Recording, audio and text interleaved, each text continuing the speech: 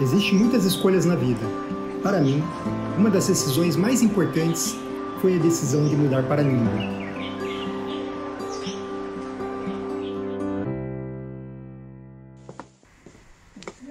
Meu nome é Rodrigo, eu sou brasileiro.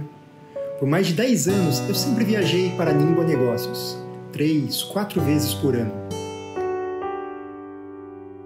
Ficar muito tempo longe de casa, eu não podia estar ao lado da minha esposa e estava perdendo de ver o crescimento da minha filha. Eu não conseguia equilibrar minha carreira Oi, Oi, Olivia. e minha família, Tudo bem? o que me deixava muito triste. Tô com muita saudade.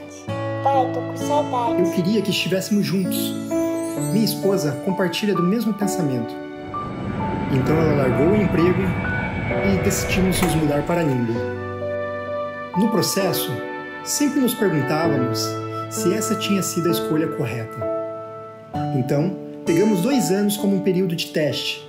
Se não conseguíssemos nos adaptar, voltaríamos para o Brasil.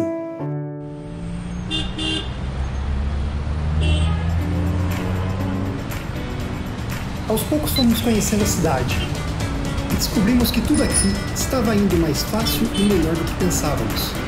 Minha carreira estava decolando e a vida estava indo super bem. Minha esposa se adaptou muito bem à vida cotidiana aqui. Ela acha que Ningbo é uma cidade maravilhosa para criar a nossa família. Minha filha está recebendo uma educação fantástica aqui e uma experiência de vida única. Nossa parte favorita é explorar coisas novas juntos em família. Sentir a cultura tradicional, a comida, os lugares, as pessoas de Ningbo. Quando conversamos com nossos amigos da nossa terra natal sobre nossa vida aqui na China, eles sempre ficam maravilhados com a impressão de que estamos vivendo no futuro. Antes que percebêssemos, três anos se passaram morando em Ningbo. Inclusive até tivemos nossa segunda filha, o que acrescentou ainda mais felicidade à nossa vida aqui. Toda a nossa família está integrada na vida em Ningbo.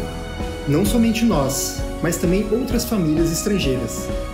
A hospitalidade dessa cidade faz-nos sentir que aqui não há distância, apenas o sabor da vida.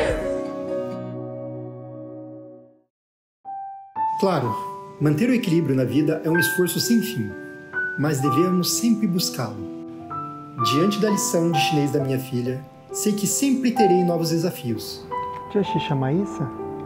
Mas não importa, tudo está indo bem, nos levando a um grande e próspero futuro. Ah, sim, já estamos no futuro aqui.